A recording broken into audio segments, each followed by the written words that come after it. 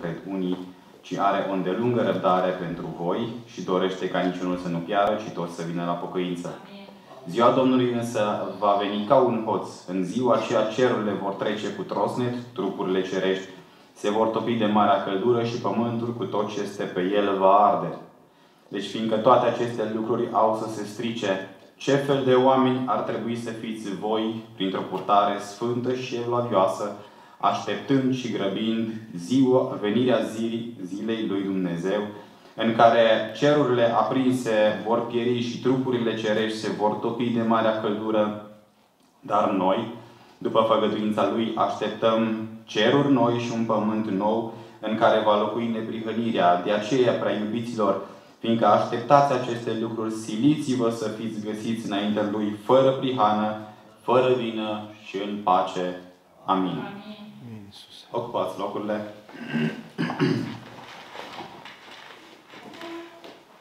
Aș vrea în continuare să avem un cuvânt de învățătură despre Evlavie.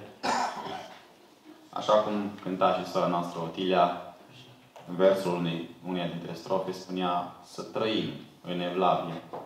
Cuvântul lui Dumnezeu vorbește într-un mod tainic despre Evlavie. Multă vreme am stat și m-am întrebat oare la ce se referă Evlavie? Am auzit de multe ori faptul că trebuie să fim evlavioși. Așa cum spune și Apostolul, uh, Apostolul Petru în acest pasaj. Uh, am stat și m-am gândit oare ce să însemne această evlavie. Și Cuvântul lui Dumnezeu, așa cum am spus, vorbește de multe ori. David în Psalmul 16 cu versetul 3 spunea el, Sfinții, Sfinții care locuiesc în țară, oamenii evlavioși, sunt toată plăcerea mea. Pavel îi spunea lui Timotei în, în prima sa epistolă, în capitolul 4 cu versetul 7, caută să fie evlavios. În Tit 2 cu 12 spunea, Harul lui Dumnezeu ne învață să trăim cu evlavie. Uh, în Timotei 6 cu 6 spune că evlavia însoțită de mulțumire este un mare câștig. Și în altă parte, în 1 uh, Timotei 4 cu 8, spunea în felul următor Apostolul Pavel, deprinderea trupească, adică abilitățile noastre, înțelepciunea noastră, capacitățile noastre, ceea ce poate noi am acumulat de-a lungul anilor, ceea ce poate am învățat cu greu. Și din punct de vedere pământesc, spunea Apostolul Pavel în Timotei, deprinderea trupească este de puțin folos. Pe când Evlavia este folositoare în orice privință, întrucât are făgăduințele vieții de acum și acelea viitoare. Noi poate ne mândrim sau ne bucurăm cu lucrurile acestea pe care am reușit totuși să le dobândim în, în decursul vieții acesteia, cu abilitățile poate cu care Dumnezeu ne-a înzestrat, cu îndemânarea noastră, cu iscusința noastră.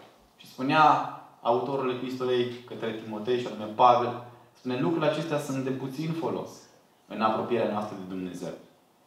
În schimb, Evlavia, ce este folositoare întrucât are făgăduințele vieții de acum și aceleia viitoare. Și ne uităm că autorul epistolei, și anume, pe care am citit-o, uh, și anume Petru, dă și el de asemenea o greutate deosebită Evlaviei. Și ne uităm că o pune într-un contrast puternic, într-o opoziție cu lucrurile acestea pământești, cu lucrurile firești, cu gunoaiele lumii acestea, cum le numește Pavel la Filipeni, capitolul 3, cu versetul 8. Lucruri care vor arde, se vor topi de marea căldură. Tot ceea ce privim noi astăzi cu ochii, spune Petru că toate acestea vor trece.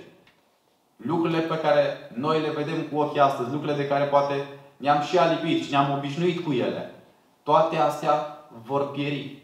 Și oarecum concluzionează această afirmație și spune dacă toate aceste lucruri se vor duce, dacă toate aceste lucruri vor pieri, cum ar trebui să fim noi ca și creștini? Cum ar trebui să fim noi ca și urmașii lui Hristos într-o vreme ca aceasta? Și tot el dă și răspunsul și spune, având o purtare sfântă și evlavioasă. Am stat și m-am gândit, cum am putea defini oare această evlavie? Și primul amănunt uh, în privința definirii acestui cuvânt ne dă Apostolul Petru. Și spune că evlavia este o purtare, este un comportament sau un mod de viață, dacă vreți să spunem. Deci evlavia efectiv trebuie să fie un mod de viață, nu o stare de moment, nu este uh, poate o atitudine de moment sau nu sunt lucruri momentane. Deci evlavia este un mod de viață, un lucru pe care noi îl facem zi cu zi. Și cel mai bun exemplu de uh, mod de viață în Evlavie uh, îl găsim la Domnul nostru Isus Hristos. Ne uităm ca autorul epistolei către evrei în capitolul 5 cu versetul 7 și voi parafraza eu acest verset. Spunea că Domnul Isus în zilele sale pământești a venit și El înaintea lui Dumnezeu cu rugăciuni și cere și spune că toate rugăciunile Lui și cererile au fost ascultate din ce motiv? Din pricina Evlaviei Lui.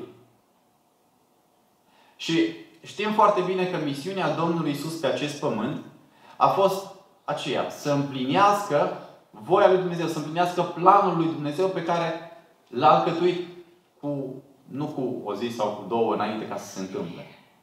Și lucrurile acestea au fost alcătuite de la întemeierea lumii. Și ne uităm la câteva versete pe care Domnul Isus rostește El însuși cu gura Lui aceste cuvinte. Și spune în Ioan, capitolul 3, cu versetul 38, Căci m-am coborât din ceea să fac nu voia mea, ci voia celui ce m-a trimis.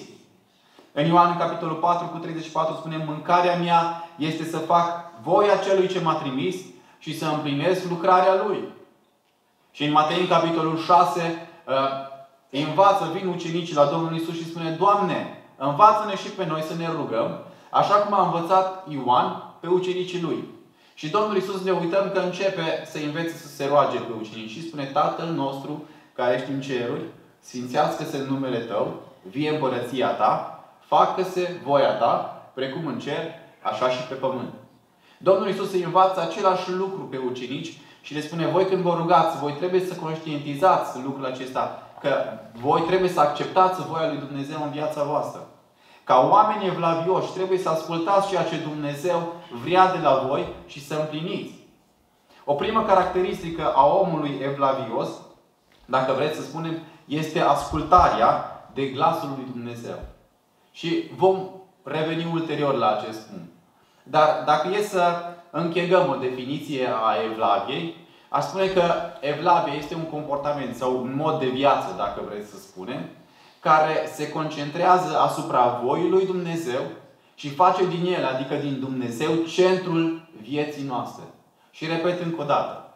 Evlavia este un mod de viață care se concentrează asupra voii lui Dumnezeu și face din Dumnezeu centrul vieții lui. Așa cum am spus, o primă caracteristică a omului evlavios este ascultarea. Să știți că ascultarea nu este totdeauna ușoară și cu siguranță suntem conștienți de lucrul acesta. Avem exemple în care ascultarea este ușor de împlinit.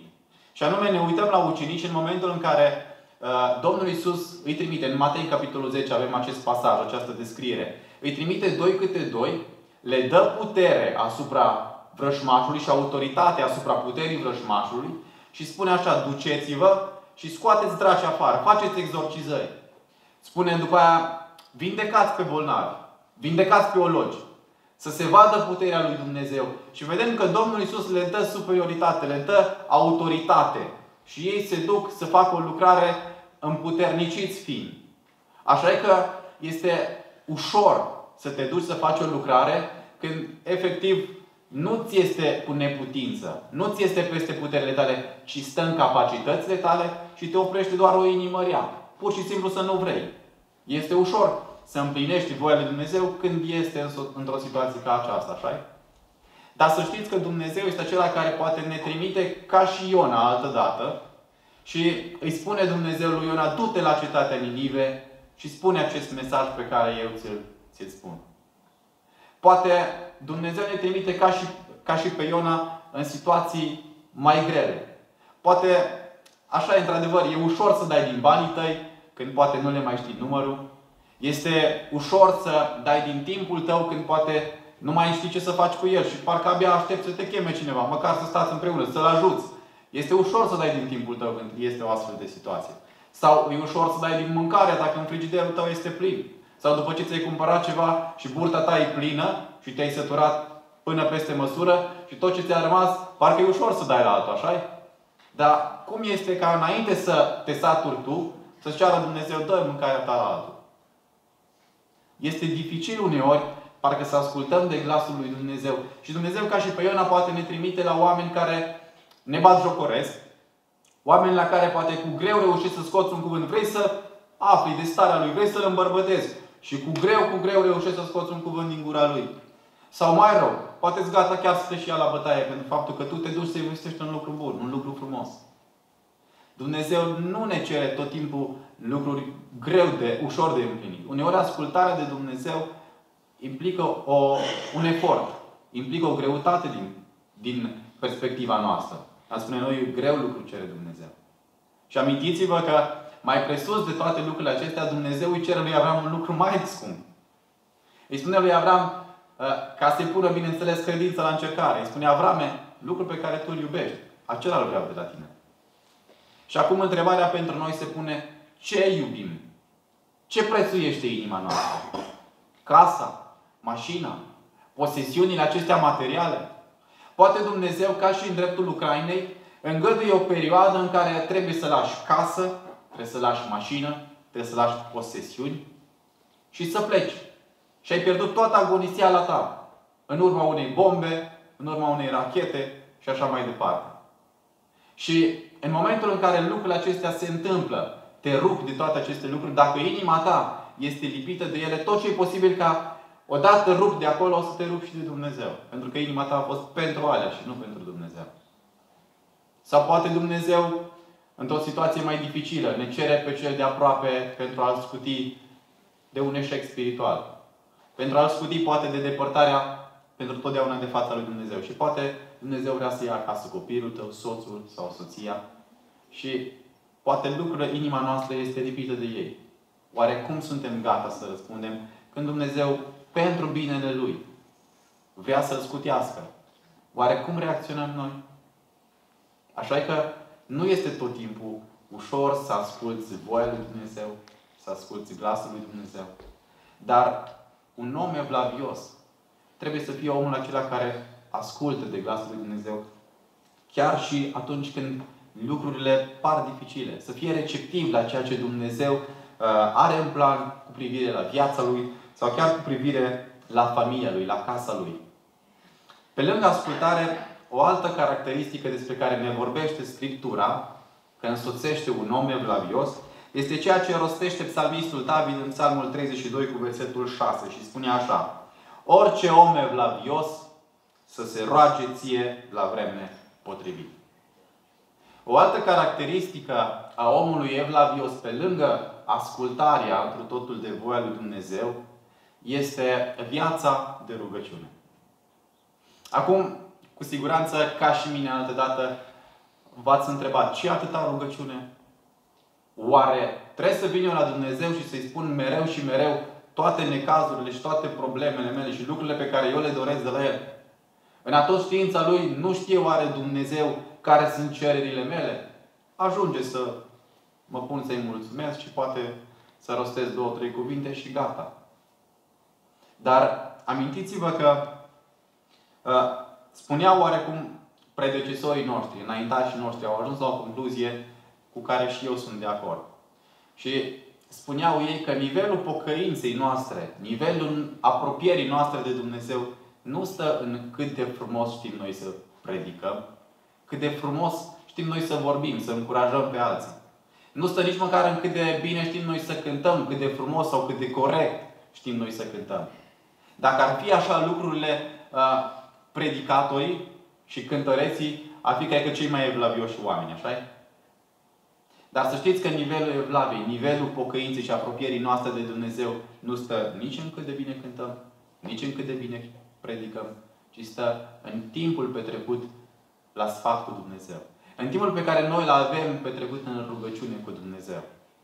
Și ne uităm la, uh, la omul lui Dumnezeu, Moise.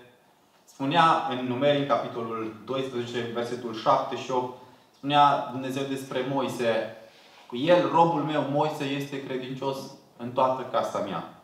Și spunea Dumnezeu, eu îi vorbesc gură către gură. Mă descoper lui cu, prin lucruri nu grele de înțeles și el vede chipul lui Dumnezeu. Având o viață de rugăciune cu Dumnezeu, având o viață de comunicare, pentru că rugăciunea este singurul mod, singura cale prin care noi ca oameni putem să comunicăm cu Dumnezeu. Și spunea Dumnezeu despre Moise, din pricina legăturii pe care eu am cu Moise oarecum, eu mă descoper lui nu cu lucruri grele. De multe ori nouă ni se par lucrurile greu de înțeles. De ce ne vorbește Dumnezeu oare așa de greu să înțelegem? Dar lucrul acesta se prea poate să se datoreze din pricina timpului limitat pe care noi îl petrecem în rugăciune cu Dumnezeu. Și mai avem pe David. David, cum bine știm, el scrie mulți psalmi în rugăciune. Știm că și David a fost unul din oamenii rugăciunii. Și el chiar vine la un moment dat cu o rugăciune de căință, Psalmul 51, vine efectiv cu o rugăciune și o scrie această rugăciune de căință la adresa lui Dumnezeu. Și în alte parte vine în Psalmul 17 cu 6 și spune Strig către tine căci mă asculți. În Psalmul 34 cu 4 spune Am căutat pe Domnul și El mi-a răspuns. David avea experiența aceasta uh, de rugăciune, de viață de rugăciune. Și știa că Dumnezeu este acela care îl ascultă dacă vine înaintea Lui. Și câți și câți oameni avem pe paginile Sfintelor Scripturi. Pe Ilie, pe Elisei, oamenii rugăciunii, pe Daniel. Amintiți-vă că în ciuda uh, strâmtorării în care el se afla, el nu s-a oprit din viața de rugăciune. Oare ce am fi făcut noi în situația lui Daniel dacă ne-ar fi oprit cineva să ne mai rugăm? Și o, Doamne, din nefericire, în timpul pandemiei chiar s-a văzut dorința unora de, de a sta la sfat cu Dumnezeu, de a sta la părtășie cu Dumnezeu. Pe Daniel l-ar fi costat viața. Și, într-adevăr, a fost aruncat în groapa cu lei. Și noi, poate, nu ne costă nimic. Și nu vrem să dăm din timpul nostru, din timpul nostru lui Dumnezeu. Nu vrem să stăm la sfat cu El, să ascultăm de glasul Lui, să-i spunem Lui necazul nostru, așa cum spunea și David. Uh, îi povestesc Domnului necazul meu. Și Pavel spunea în Filipeni 4 cu 6, aduceți cererile voastre la cunoștința lui Dumnezeu prin rugăciuni și cereri cu mulțumiri. Și Domnul Isus ne învăța și spunea, tot ce veți cere prin rugăciune veți primi. Și o, cât de neglijată e rugăciunea în viața noastră, așa -i? Parcă cel mai ușor ne este să tăiem din timpul de rugăciune, din timpul de citit Scriptura. Și eu spun lucrul acesta din experiența mea și fiecare poate să mărturisească lucrul acesta din experiența personală, așa -i? Dumnezeu să ne ajute și pe noi să avem o viață de rugăciune, așa cum însuși Domnul Isus ne-a dat pildă, ne-a dat acest exemplu de viață de rugăciune, mergând noaptea și rugându-se, ca mai apoi să facă lucrarea lui Dumnezeu, având putere, deoarece spunea Domnul Iisus, vegheați și rugați-vă ca să aveți putere. Pentru că lucrurile care ne stau înainte nu sunt lucruri ușoare. Și Dumnezeu să ne ajute să fim oamenii rugăciuni. Asta este o altă caracteristică a omului evlavios. Pe lângă ascultarea de voia lui Dumnezeu, viața de rugăciune. Și încă o caracteristică asupra căreia vom zăbovi puțin este ceea ce spune autorul epistolei uh, către Timotei, spune Pavel lui Timotei, într-un context pe care eu îl voi lărgi. Spunea el, referitor în capitolul 2, cu versetul 9 și 10, vorbește despre conduita femeii și spune că femeia trebuie să fie îmbrăcată într-un chip cuvincios, să nu pună cu alte cuvinte accent pe lucrurile exterioare, ci spune în a doua parte și mai degrabă pe fapte bune, așa cum se cuvine femeilor care spun că sunt evlavioase. Și eu voi extinde acest lucru și spun că, într-adevăr, lucrul acesta nu este valabil doar pentru partea feminină. Faptele bune nu sunt referitoare doar la partea feminină. Ci omul evlavios este însoțit de fapte bune și Dumnezeu să ne ajute. Ne uităm în perioada apostolică, în momentul în care Dumnezeu, la scurt timp după ce Dumnezeu este înălțat, Domnul Iisus este înălțat la cer, uh, vedem biserica având o purtare exemplară. Și dacă vă aduceți aminte, uh, în Faptele Apostolilor, în capitolul 2, în ultima parte a acestui capitol, începe autorul Luca să descrie modul în care se desfășurau uh, slujbele, cum era biserica primară. Și spunea autorul epistolei că fiecare își vindeau, care aveau, în destul să zic așa, își vindeau ogoarele, banii aduceau la picioarele apostolilor și fiecare se îngrijeau de nevoile celorlalți, de nevoile celor care erau mai lipsiți. Vedem că era o preocupare pentru a face fapte bune. Dar nu după mult timp, scrie autorul epistolei Iacov, uh, epistolei lui Iacov, ne uităm că se vede nevoit să scrie un mesaj celor de atunci, din vremea lor, uh, poate la o generație după, fiind scrisă prin anul 44 după Hristos, aproximativ. Deci nu la foarte mult timp după înălțarea Domnului nostru Isus Hristos. Unii au devenit prea inventivi, așa cum se întâmplă și în zilele noastre, să ajungă să răstălmăcească Scriptura, spunând, așa cum se amintea și de fratele Leo, îmi spunea Pavel la evrei, uh, căci prin har suntem mântuiți, prin credință și asta nu vine de la noi, ci este darul lui Dumnezeu. Spuneam versetul 9, nu prin fapte ca să nu se laude nimeni.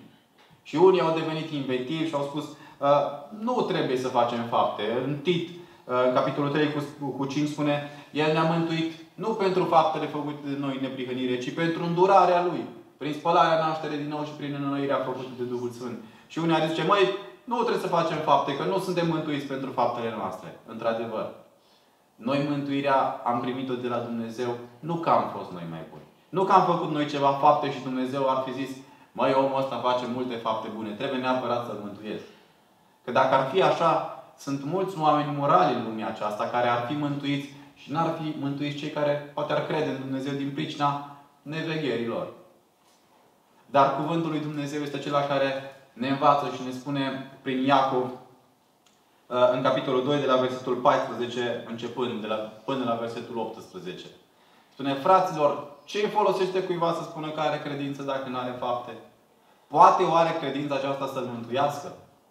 Și spunea, el dădea un exemplu și zice, dacă un frate sau o soră sunt goi și lipsiți de hrană de toate zilele și voi le spune, duceți-vă în pace, încălțiți-vă și săturați-vă, fără să le dea cele trebuicioase la ce ar folosi, tot așa și credința, dacă nu are fapte, este moartă în ea însăși. Și concluzionează și spune uh, în versetul 18, dar va zice cineva, tu ai credința și eu am faptele. Arată-mi dar credința ta fără fapte și eu îți voi arăta credința mea din faptele mele. Și v-am mai dat acel exemplu a dragostei dovedite prin fapte soț față de soție. Și anume că dragostea nu stă în vorbe. Că vorbele de multe ori pot să fie înșelătoare.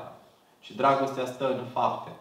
Tot astfel și credința noastră stă în faptele noastre. Este zadarnic să spunem că suntem credincioși dacă faptele noastre nu dovedesc lucrul acesta. Este zadarnic să spunem că suntem copii ai lui Dumnezeu dacă noi nu vrem nici măcar cu un deget să mișcăm nimic.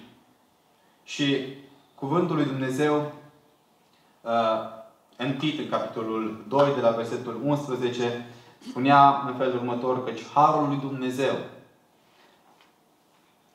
Căci Harul lui Dumnezeu ne învață să o rupem cu păgânătatea și cu poftele lumești și să trăim în viacul de acum cu scumpătate, dreptate și evlavie. În versetul 14 spune, El s-a dat pe sine însuși pentru noi, ca să ne răscumpere din orice fără de lege și și-a curățit un norod care să fie al Lui, plin de râvnă pentru fapte bune. Dumnezeu vrea de la noi să fim plini de râvnă pentru fapte bune. Însuși Domnul Isus din nou ne-a dat acest exemplu al faptelor bune. Știm că Domnul Isus a fost un om al faptelor. I se făcea milă de cei care erau în nevoi. Mergea și Chiar dacă la un moment dat a spus, o, până când voi fi cu voi? Cât va trebui să mai ascult toate plângerile voastre? Și totuși Dumnezeu nu s-a depărtat de ei. Domnul Iisus n-a plecat de la ei și a zis, cum a zis Pavel la un moment dat, gata, plec de la voi, mă duc spre neamul. Nu, Domnul Iisus nu l-a părăsit. Nu l-a părăsit pe Israel, ci a rămas, a rămas acolo. Și Dumnezeu să, să ne ajute ca în viața noastră să dovedim că suntem oameni evlavioși. Omul evlavios are un mod de viață care se concentrează asupra voii lui Dumnezeu și face din el, din Dumnezeu, centrul vieții lui. Și omul evlavios este caracterizat, așa cum am spus, de ascultare, ascultare de voia lui Dumnezeu. Este un om al rugăciunii și este un om al faptelor. Dumnezeu să ne ajute ca în viața noastră de zi cu zi să dăm dovadă că suntem oameni evlavioși și Dumnezeu să ne ajute la aceasta. Amin.